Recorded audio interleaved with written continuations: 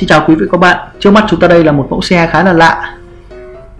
Người ta được hay được gọi là Toyota cá mập Đó chính là Toyota Hiace. Ở thị trường Việt Nam thì mẫu xe 16 chỗ Chủ yếu là đến từ ờ, ba thương hiệu Đó chính là ông vua phân khúc Ford, Ford Transit. Một uh, tên tuổi mới xuất hiện Tuy nhiên thì rất thành công Đó chính là Hyundai Solati. Và trước mắt chúng ta đây là Toyota Hiace chiếc xe có giá đắt nhất nhập khẩu. Thương hiệu Nhật bền bỉ nhưng lại ít được người tiêu dùng lựa chọn. Ít được người tiêu dùng lựa chọn không phải vì chất lượng, thực tế là vì giá. Giá của chiếc Hiace này cao nhất phân khúc. Giá niêm yết của Hiace là 999 triệu. Tuy nhiên thì Hiace lại có những cái ờ, điểm mạnh mà hai đối thủ còn lại không có các bạn đầu tiên quan sát thấy đó chính là hệ thống mở cửa phía sau. Cả hai mẫu ờ, Solati và Ford Transit đều mở cửa ngang, trong khi thì ờ, hai Hiace sẽ mở dựng lên trên, tạo thành một cái gần giống như cái ô che che nắng, che mưa rất là tốt. Đây là tổng thể các bạn thấy là trần rất là cao. Hiace trên đăng ký là 15 chỗ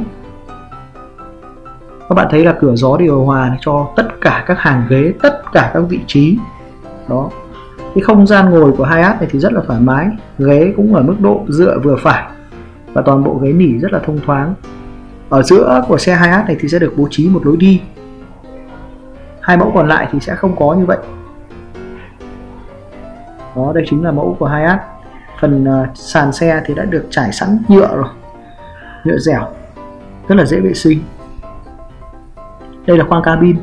Cabin của một mẫu xe du lịch nhỏ này thì không có gì để nói.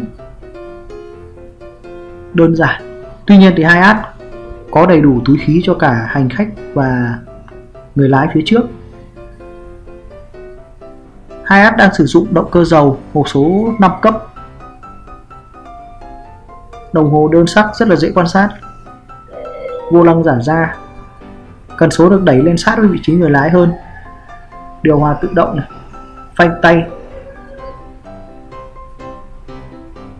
Đầu đĩa CD hiện tại thì chiếc Hiace này đang à, được niêm yết giá bán là 999 triệu. Đi kèm chương trình hỗ trợ trả góp lên à, đến 85% giá trị xe. Quý khách chỉ cần trả trước 15% giá trị xe, cộng với tiền chi phí đăng ký, đăng kiểm là đã có thể sở hữu mẫu xe này. Hiace thì rất là bền bỉ. Có những chiếc xe 2H à, đời 9697 và vẫn hoạt động tốt cho đến thời điểm hiện tại. Quý khách có nhu cầu ờ, tham quan mẫu xe này, xin vui lòng liên hệ trực tiếp để được trợ giúp. Xin chào và hẹn gặp lại ở những video tiếp theo.